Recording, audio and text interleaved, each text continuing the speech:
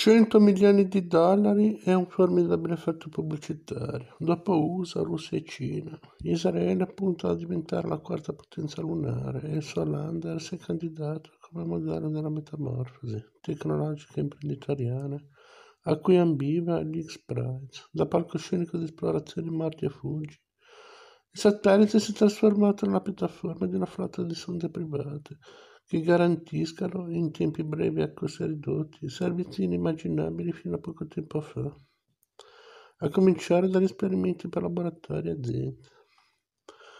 Bereshit si è schiantata poco prima dell'allunaggio, ma gli ideatori si sono rimessi subito al lavoro. Intanto un esempio del nuovo inizio ispirato dalla creatura nata a Tel Aviv è la società statunitense Astrobiotic di Pittsburgh L'amministratore delegato John Thornton dice che stiamo creando una ferrovia, un servizio di spedizione verso la Luna. Tra gli unici clienti già annunciati per il suo modulo Peregrine, pronto ad accendere i motori nel 2020, non ci sono solo gli Atenei, come la Carnegie Mellon University. Ci sono aziende specializzate in telecomunicazioni e in comunicazioni satellitari oltre alle organizzazioni di infotainment e di edutainment. C'è chi pagherà il biglietto per portare sulla Luna capsule temporanee e chi le ceneri dei parenti. Per non parlare del bric-a-brac prodotto con stampanti in 3D e portato sulla Terra come un goloso souvenir. Basteranno queste prime iniziative ad affermare il business? Con gli occhi puntati lassù sono già in tanti. C'è Relativity, Relativity Space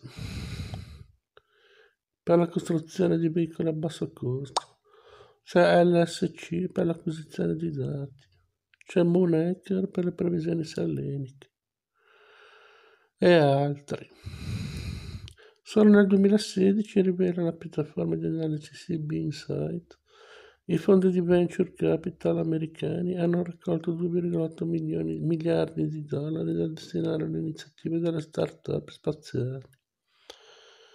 E da soli i cinque partecipanti all'X Prize di milioni ne hanno messi insieme alla bellezza di 300.